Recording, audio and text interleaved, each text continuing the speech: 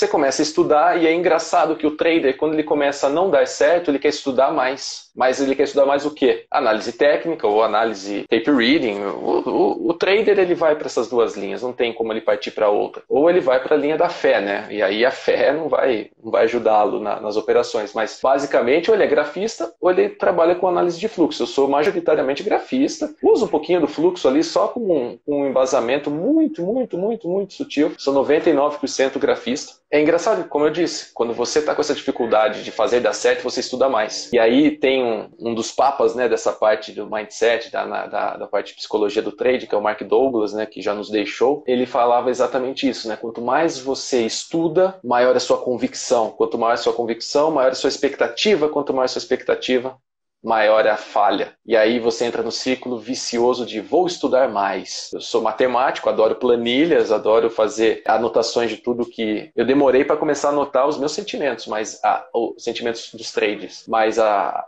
os números sempre. E era engraçado, toda segunda-feira, o meu pior dia no mercado foi uma segunda-feira. E toda segunda-feira era pancada. Por quê? Rodava o final de semana estudando que nem um louco, que nem um condenado. Não a gente descansava, tem... não desligava, era mercado Nada. full time. Qual, qual que é a formação nossa quando a gente é criança? O que, que a gente escuta? Você tem que estudar, você tem que se esforçar, você tem que ser o melhor, você tem que se dedicar ao máximo. O que, que é se dedicar ao máximo? Você tem que trabalhar duro, ganhar dinheiro é difícil, você tem que trabalhar muitas horas para conseguir ganhar dinheiro. Exato, e, e, e se você não está dando certo naquilo, o que, que você vai fazer? Você tem que se dedicar mais, você tem pessoas envolvidas no seu sonho, e isso é uma coisa que eu não posso deixar de falar nessa live. Ninguém dá certo nesse mercado se não tiver as pessoas que estão à sua volta envolvidas no projeto. Então, seja seu marido, sua esposa, seu filho, sua mãe, seu pai, seu irmão, quem tiver com você, aquelas pessoas que estão ao seu redor e que vão ter a vida transformada com você quando você passar pelo crivo do mercado financeiro, essas pessoas têm que estar sentadinhas entendendo todo o processo, porque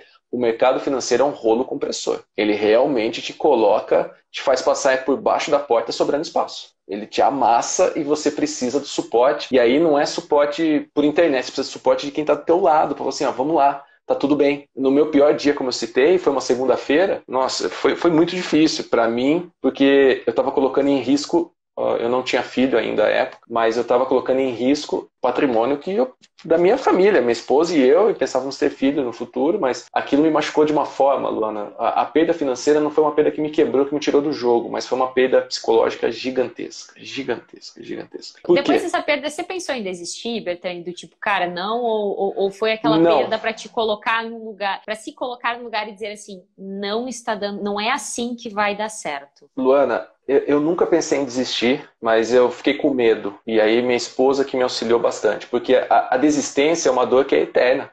Acabou, você desistiu. A falha é momentânea. Então eu sabia que eu ia dar certo, é, de qualquer jeito. Ah, se não fosse no day trade, eu ia fazer swing trade. Se não fosse no swing trade, eu ia fazer position. Se não fosse position, eu ia ser agente autônomo. Se não fosse agente autônomo, eu ia ser analista. Se não fosse analista, eu ia fazer tipo, já do tinha, mercado financeiro. O, o, coração já era do mercado. Luana, eu nunca fui tão feliz fazendo algo na minha vida como estar à frente do mercado. Nunca. Meu sonho era é, poder acordar de manhã e ler notícias para poder entender o que eu ia fazer, mas nunca com o mercado. Pensava, sei lá, ser um empresário de sucesso. Aquela, aqueles filmes que você vê o pessoal acordando de manhã, tomando aquele suco de laranja delicioso, abrindo jornal, o antigo, jornal, né? né? É, lendo. Poxa, eu me visualizava daquele jeito. E aí vem o poder da visualização. Isso aí nem passava pela minha cabeça ainda no mercado financeiro. E há pouco tempo atrás, nessas visualizações que eu gosto de fazer demais, eu falei, puxa, é o que, tá, é o que aconteceu para mim. E eu nem imaginava, porque hoje eu, eu crio um contexto para começar o meu dia. Eu vou lá, vou operar às nove da manhã, meu dia não vai começar às oito e meia. Começou há muito tempo antes e lendo muita coisa, entendendo tudo que está acontecendo ao meu redor, me programando, visualizando como vai ser meu dia. Então desisti nunca. Mas essa vez foi muito, muito difícil. De, acho que tiveram umas duas ou três vezes que vontade de quebrar, tudo quebrar assim o, o teclado, mas que acabou virando choro mesmo, sabe? Aquela coisa de posição fetal, de da impotência, Luana. Aquela questão de, puxa, eu não consigo fazer isso. Eu tô me esforçando, eu tô lutando, eu quero isso mais do que tudo, mas eu não consigo, eu sou incompetente. E essa sensação de incompetência, ela é, nossa, ela é um, é um rolo compressor. Acaba te colocando no lugar, viu, Luana? E como que você lidou, assim, para encontrar para você uma saída? Primeiro, o suporte da minha esposa sem ela ali me apoiando e falando, eu acredito como é, com você. Como é, que é o nome, e... como é, que é o nome dela? É a Dani. Dani, Dani. beijo, parabéns, hein? Sem dúvida nenhuma, se não fosse ela, e falo isso para todo mundo, primeiramente ela aqui ao meu lado, falando, vamos que dá, se der tudo errado, não tem problema, eu tô com você.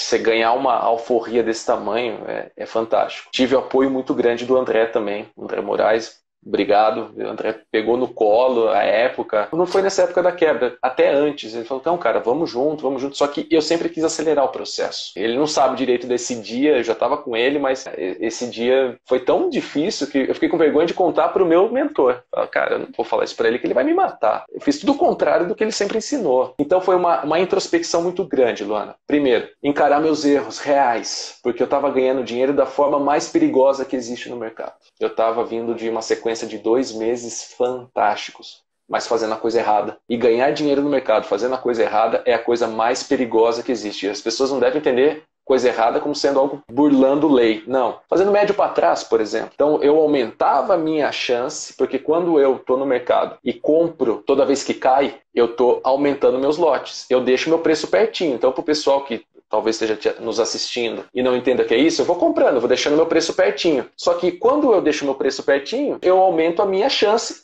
de dar certo. Só que o mercado ele não é uma mãe. Tudo bem, você está pertinho, mas eu vou aumentar teu risco, tá? Porque eu não estou mais com um contrato, estou com 50, estou com 100, estou com 200. E aí ele dá aquela esticada para baixo, acabou a história. E eu passei alguns meses fazendo isso e dando muito certo. Só que o dia que não deu, me quebrou violentamente. Como eu disse, não foi financeiramente, porque quebrar financeiro, você dá jeito, dinheiro a gente corre atrás, arruma de novo. Mas quebrar psicologicamente é muito difícil. E deixar o tempo passar também, quando eu comecei a perceber que eu estava deixando o principal ativo que nós temos na vida, que é o tempo, passar, eu estou amassando barro. Eu não saio do lugar, quando eu ando, eu devolvo tudo de uma vez. E aí eu parei por um tempo, falei, não vou fazer mais day trade. Eu tinha uma posição em swing trade legal, deixei lá. No mesmo mês ainda, financeiramente eu estava no zero a zero, mas o meu psicológico estava no menos mil. Até começar a reestruturar, foi aí que eu comecei a aprofundar violentamente nessa parte psicológica. Porque o dia que eu tomei esse loss, eu estava com 500 contratos no mini índice. Eu não conseguia operar um depois disso. Um minizinho. Tremia, ficar branco, ficar desesperado. Por quê? Eu falei, eu sou um cara que sou viciado, eu não sei parar. Se eu não sei parar, eu posso perder o que eu perdi, posso perder 10 vezes o que eu perdi. Aí foi entender todo o mecanismo, foi realmente aprofundar assim. Meu,